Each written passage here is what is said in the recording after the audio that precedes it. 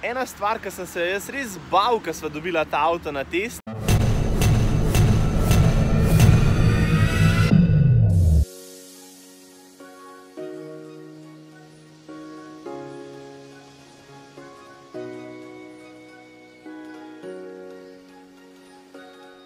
Tole za nama je trenutno najnovejši golf v ponudbi in ena stvar, ki sem se jaz res bal, ko sva dobila ta avto na test, je to, da bova v istem dnevu srečala vsaj še tri enake na cesti. Ampak zdaj dejansko viva, zakaj je to tako? Ja, zato, ker se avto dobro pele, dobro je narejen, pa tudi dobro zgleda.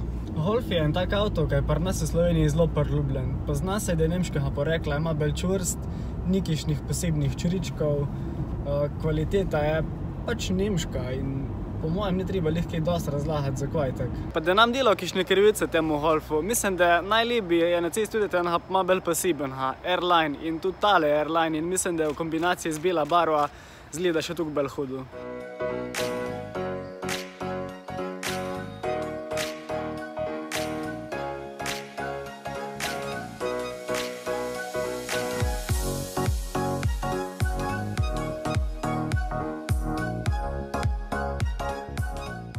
Zdaj, verjetno vas vse zanima, kaj dobiš pri tem airline paketu, razen te airline značke. Spreden odbijač je nekoliko bolj agresivno narejen, pa ima tele črne športne dodatke tukaj spredi, pa tale posebna 17-palčna platišča, tele črne stranske pragove in pa agresivnejši zadnji difuzor z dvema izpuhoma. Jaz moram reči, da sem s tem golfom še bolj užival po noč. To pa zaradi teh polnih led žarometov, ki imajo tudi funkcijo zavijanja v ovinek, In to deluje res vrhunsko. Mislim, meni je prava poezija, ko gledaš te dve lučki, ki se skozi premikata spredi in točno to naredi nočno vožnjo še toliko bolj zakon za uživati. Po poleg vse šminke, ki je Andrej zdaj naštel, ima tudi nekaj asistenčnih sistemov, kot je tale radarski tempomat v znaku, parkirni senzori, lahko pa še kaj drugega zberete, če čete. Če ste malo bolj pedantne narave, lahko dokupite še boljš let luči, take, kot so jih imela v e-golfu, se pravi, da imate sekvenčne žmihalce. Če se vam zdi zunanji airline paket pomemben, lahko mi dva rečeva, da je prav tako pomemben tudi notranji airline paket, ki ga ima ta Golf. Zraven dobite tale lep športen volan, ki je spodaj tudi prirezan, kromirane pedalke, pa tudi novo oblazinjene na teh sedežih z znakami airline, ki so v bistvu iz navadnega blaga, pa tudi delčki Alcantare. Na konc pa tudi tele letvice, ki v bistvu spominjajo malo na karbonska vlakna, čeprav so verjetno iz plastike, ampak zelo dobro povežejo v celoto to notranjost. Na sredinsko konzolo so pri prenovljenem Golfu dodali veliko črne plastike, kar je sicer zelo lepo, ampak včasih vam bodo preglavice delali tudi prstni odtisi.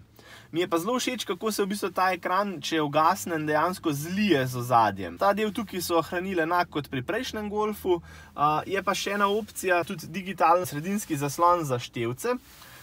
Tale ima sicer še navadne analogne, ki pa tudi še zmer zgledajo lepi, pa tudi ohranjajo tisto Volkswagenovo zgodovino. Tale Golf mislim, da ima kar najpohostejša izbira dizel motorja, to je 1.6, ki zmore 116 Ima sicer pet prestav, kar pa je odvisno, a pogrešiš šesto, predvsem od relacij, ki jih voziš, se pravi, ali si bel na avtocestah, ali pa imaš bel kišne krajevne relacije, ali pa mestna vožnja. Ampak za splošno uporabo je pa tole čist fajn izbira.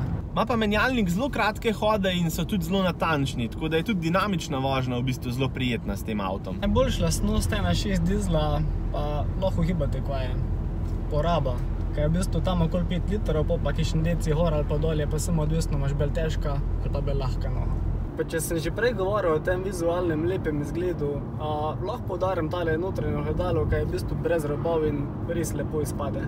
Glede voznih lastnosti sva si pa okrog tega Golfa kar enotna. Avto ima kar precej trdo podvozje in je zelo čvrst, tako da pri dinamični vožnji res pride do izraza, ker se v ovinkih zelo malo nagiba. Edin, kar pogrešava, je izbira voznih profilov, da bi se ostale lastnosti še malo bolj prilagajale športni vožnji, ker tale volan je občutno premehk. Ampak to so malenkosti, ki se jih z doplačili zda takoj zrihtati. In zdaj tudi mi dva razumeva, zakaj je na slovenskih cestah toliko velik golfov. Ja, zato, ker je preprosto dober. Takole zaključujejo vlog z izbrancem slovenskih src. Moram reči, da sva tudi mi dva izredno uživala z njim. In iskrena hvala Novogoriškemu centru ABC, ki nam je dalo tega res lepo opremljena golfa. Upava, da je to začetek ene dobre zgodbe in da bova testirala še veliko njihovih avtomobilov. Je pa odvisno to od vas. Točno tako. Zdaj pa hitro subskrbite, pa se vidimo v naslednjem vlogu. Čau!